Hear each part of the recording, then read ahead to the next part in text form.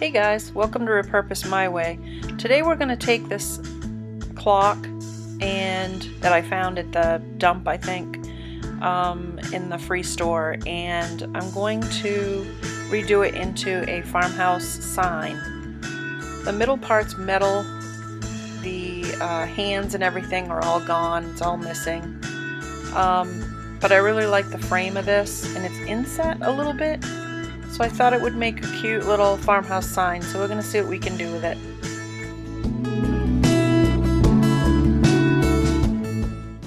I'm using my Waverly chalk paint in white. I'm going to cover it all over and I'm going to do two coats on this. It's going to take two coats to get it all covered nicely.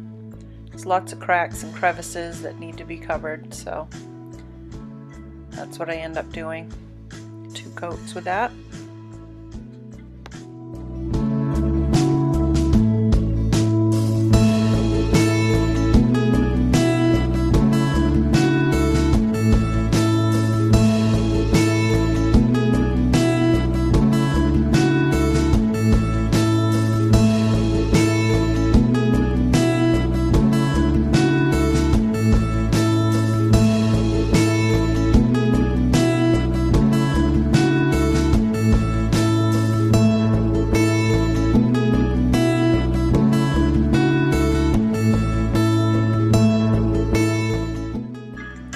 I'm using the hair dryer to speed things up a little bit so that I can get on with the sanding, which is what I'm doing here.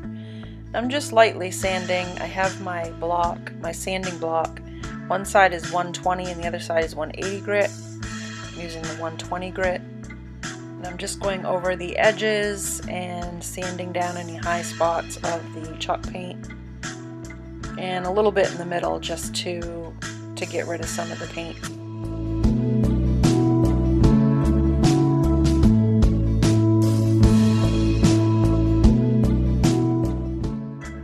On here I'm using my Waverly uh, clear wax and I'm going to go over the whole thing with that. I am going to go over it with antiquing wax as well, but I didn't want it all covered in antique wax. I wanted just where I want it. So I thought if I put this clear wax on, I'd be able to wipe off what I didn't want of the antiquing wax. So we'll see if it works. Does anybody remember this cute little rooster I got from my Goodwill find from my haul? He um, isn't going to match my decor, so I want to give him a little sprucing up. So this is Waverly chalk paint in mineral and I'm going to cover him with two coats of this. Get it all over because I'm going to go back on with some white paint, chalk paint, and then I'm going to distress it back and I don't want it back to the full blue. I don't mind if there's a little bit, but I really would rather have some of that mineral coming through. So this covered really nicely. It's a nice shiny surface on the rooster, but it still stuck down really well. And of course I used my hair dryer and dried him a little bit so that I could get the second coat put on.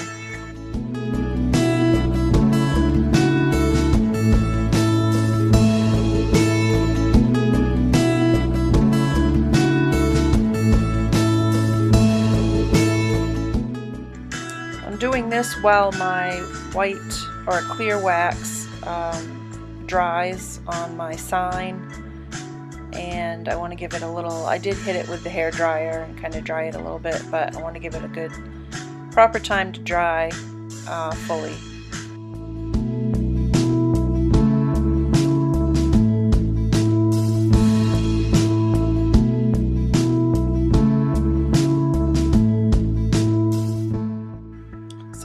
I'm using my antiquing wax now um, from Waverly and I'm just taking a brush and, and just lightly dry brushing the wax on there. Because I have the clear wax on, I know it's been sealed.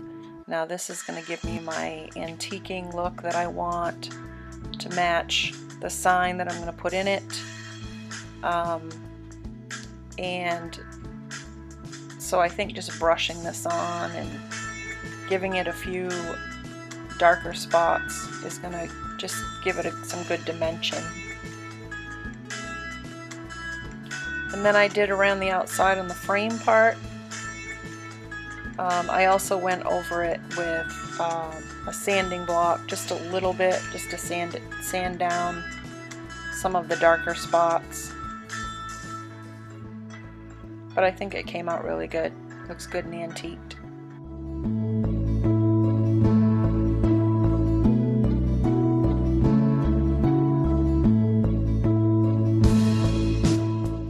My sign guys this is wallpaper border that I ordered either off from Amazon or off from um, discountwallpaper.com or something like that.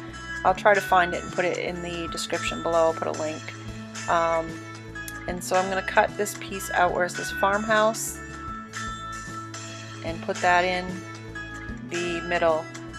So what I did was I cut it, fit it just right, and then I went and ran it under water folded it over onto itself so the two uh, sticky parts uh, were together and I just left it there for like a minute and then stuck it down. So while that dried I finished painting my little rooster. He got a coat, just one coat of the Waverly white chalk paint. And you get that all over. And then I went around with my uh, sanding block the 120 side and just kind of scuffed him up a little bit. It does go down to the shiny somewhat um, but you kind of get a little bit of a, a hint of the mineral paint that I put in there as well.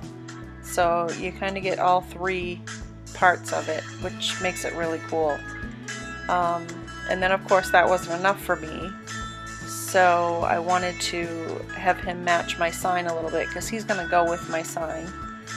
Um, so I did take my dry brush of antique wax and I just brushed it over on him. Just light brushing, just like I did with the sign. And I think it really made um, him pop, all of his little feathers and, and um, everything on him. It just made him pop. And I think it really came out so, so cute. I love it.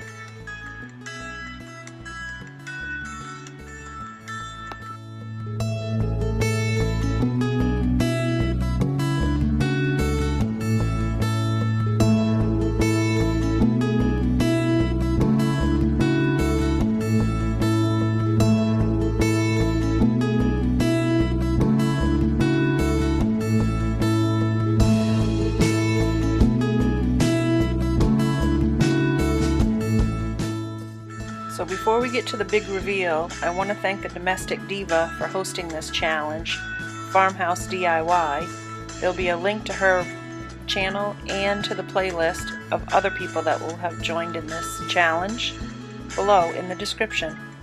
Now for the big reveal. Are you guys ready? Here it is.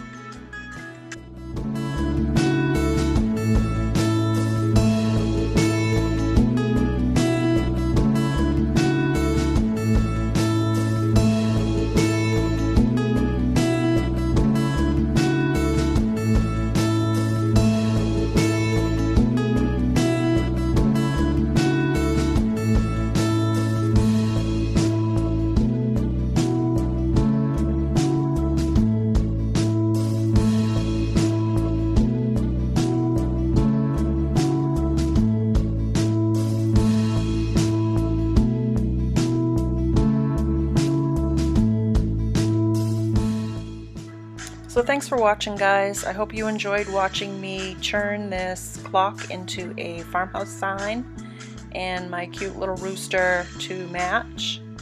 Uh, I think it came out so cute. Let me know what you think down below. Thanks for watching guys. Have a good one.